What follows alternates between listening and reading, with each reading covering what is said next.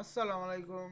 In this video, I will show you how to insert header on second page in Microsoft Word. Let's get started. Firstly, you have to create section break.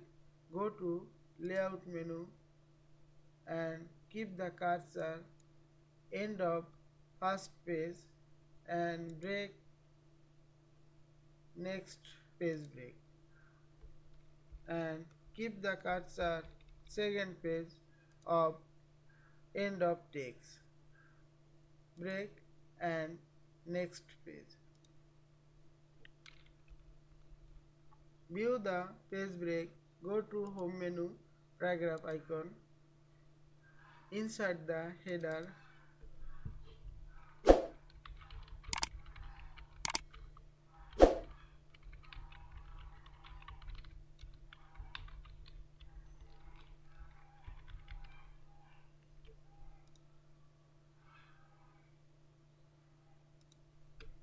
go to third page remove the link to previous. Remove the header text third page and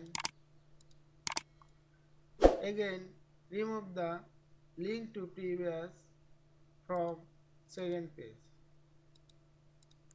Now remove the header text from first page now only have header second page.